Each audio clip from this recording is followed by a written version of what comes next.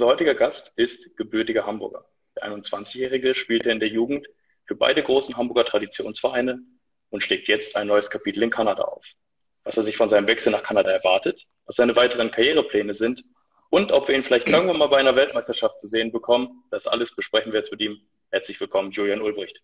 Wie geht es dir und wo bist du gerade? Beziehungsweise kannst du uns kurz erklären, warum du da gerade bist, wo du bist?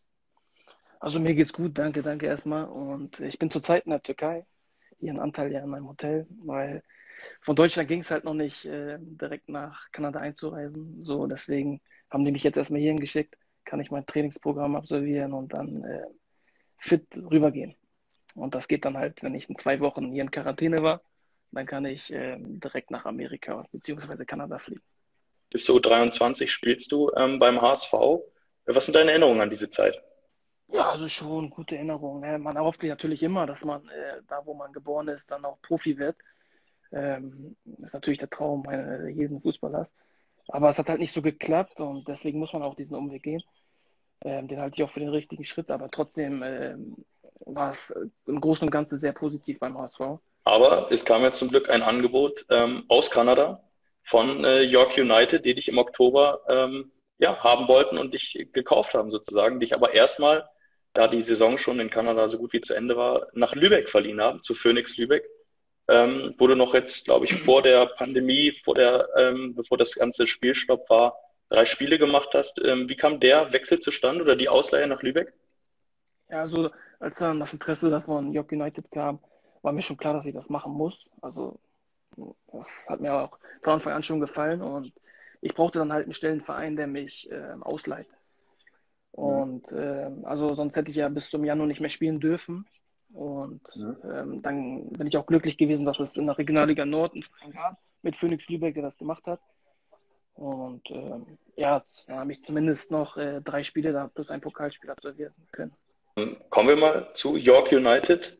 Was war so reizvoll daran? Du hast eben schon gesagt, ähm, es kam das Angebot und du hast sofort gemerkt, das muss ich machen. Womit haben sie dich, dich gelockt? Was äh, war das reizvoll an dieser Aufgabe? Ja, also Amerika und äh, Kanada hat mich schon immer so fasziniert ein bisschen. So auch die MLS, da ist, äh, die verfolge ich auch sehr gerne. Und mhm. dann, als das äh, Angebot äh, gekommen ist, so unser Interesse gekommen ist, dann muss ich nicht lang zögern. Also das York United liegt in Toronto, äh, eine geile Stadt, denke ich mal. Also es ja. wird auf jeden Fall ein Abenteuer und ich habe da halt mega Bock drauf. Mal was Neues. Englisch wird natürlich dann auch besser. Ähm, klar, klar. Wer weiß, natürlich äh, gehe ich mit dem Ziel da rein, äh, so lange wie möglich Fußball spielen zu können im höchstmöglichen Bereich. Man weiß nie, was kommt, aber selbst wenn nicht oder sollte irgendwas passieren, nimmt man auf jeden Fall die Erfahrung auch mit du, wie gesagt, wechselst jetzt nach Kanada und 2026 ist ähm, die WM in Kanada und in den USA zusammen. Und es gibt die Möglichkeit, wenn du jetzt fünf Jahre lang, rechne kurz nach, 2021 plus 5, 2026, wenn du so lange in Kanada lebst und spielst, könntest du eingebürgert werden, kurz vor der WM und für Kanada bei einer Weltmeisterschaft auflaufen. Ich denke mal, das hörst du auch nicht zum ersten Mal. Ähm, wie sieht das aus? Hast du dich damit schon mal befasst? Ist das wirklich ein realistisches Ziel für dich oder sagst du, ach, Leute, lass uns erstmal schauen, was in fünf Jahren passiert? Ja, genau das. Also erstmal jetzt da eine Saison spielen und dann äh, werden wir sehen, was da weiter passiert. Ob man da in der Liga bleibt oder ob man doch wieder zurückgeht nach Europa oder woanders hin, das, das weiß keiner. Aber der Fokus ist einfach jetzt gerade auf, auf äh, dieser Saison.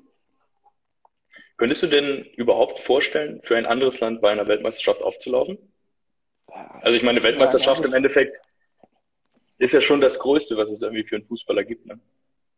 Ja, also schwer zu sagen. Also na klar, wenn äh, irgendwann mal ist auf einmal, weiß nicht, schießt da alles kaputt und sonst was und die sagen, ja, du kannst spielen. Natürlich kann man sich dann darüber Gedanken machen, aber das ist alles noch äh, weit, weit, weit entfernt. Hier gibt es natürlich auch die Möglichkeit, ähm, es gibt drei, vier kanadische MLS-Teams. Du hast die MLS vorhin schon erwähnt, als ein mögliches Ziel, wenn man schon drüben in Amerika ist. Wäre das, ähm, ist das so eins der Hauptsachen, wo du den Fokus drauf hast? Okay, vielleicht Toronto hat ein MLS-Team. Ähm, vielleicht lande ich darüber mal irgendwann in der großen Liga?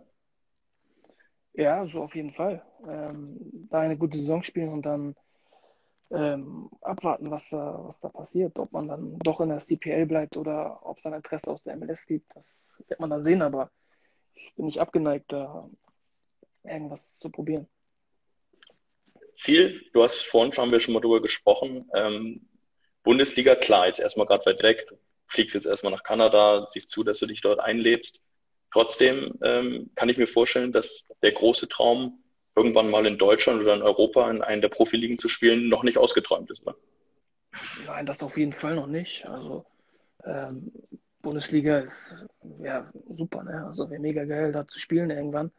Ähm, wie gesagt, mein Vater hat ja auch damals gespielt in der Bundesliga und ähm, das dann auch zu dürfen oder zu können, wäre natürlich ist halt ein Kindheitstraum.